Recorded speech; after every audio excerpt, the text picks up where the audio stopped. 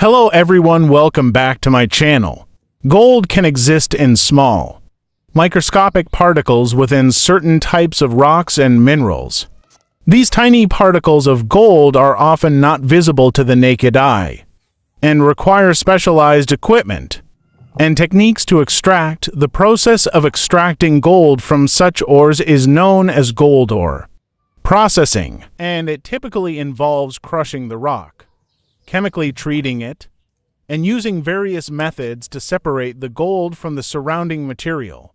This is commonly done in mining operations to extract gold from its host rock. Occurrence Microscopic gold can be found in various types of geological formations, including quartz veins, sulfide ores, and sedimentary rocks. It often occurs in conjunction with other minerals like pyrite, chalcopyrite, or arsenopyrite. Gold grades, the amount of gold in these rocks can vary widely. Some deposits may contain only trace amounts of gold, while others can have significant concentrations. Mining techniques extracting microscopic gold from stone can be challenging and expensive. Miners often employ methods such as crushing, grinding, and chemical processes to liberate the gold particles from the host rock, microscopy and analysis, to confirm the presence of microscopic gold. Geologists and mineralogists use specialized microscopes and analytical techniques. These tools allow them to study the mineralogy and distribution of gold within the rock. Economic significance Microscopic gold deposits can be economically viable if the gold concentration is high enough. Mining operations invest in exploration An analysis to determine the potential profitability of extracting gold from these rocks. Processing. Once gold is extracted from the stone, it goes through further processing to refine and purify it. This can involve techniques like smelting or chemical processes to produce pure gold.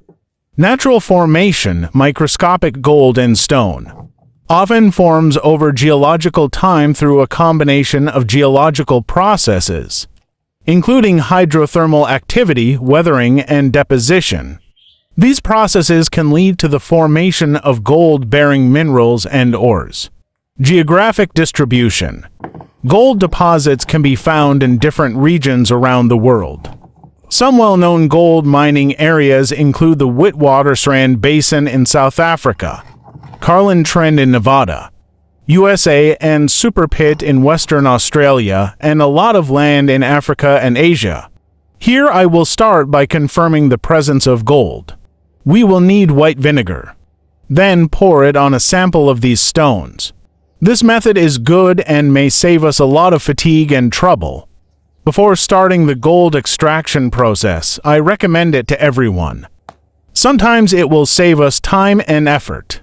So we cover the sample to be examined with white vinegar. Now we will leave it aside for a day or more, until the gold appears. Since I know that this stone contains a percentage of gold, Warning process shown in this video involves highly corrosive acids and should only done outside or in a fume hood. Using safety gear such as gloves, goggles, and a respirator is mandatory. Please like and subscribe to my channel. And don't forget to click on the bell icon to get new video updates.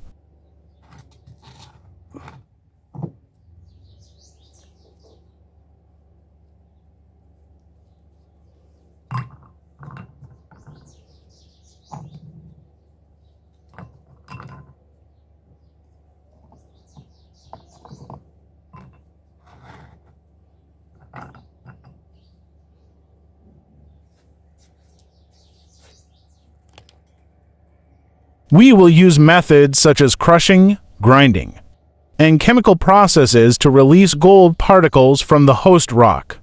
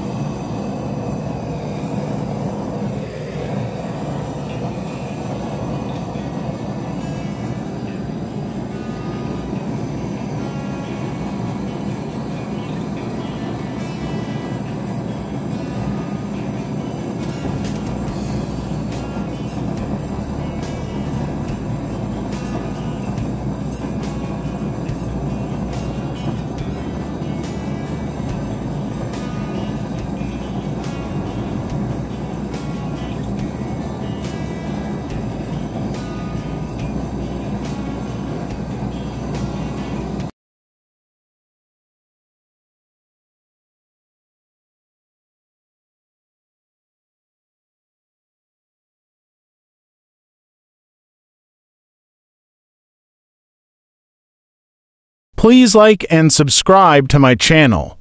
And don't forget to click on the bell icon to get new video updates.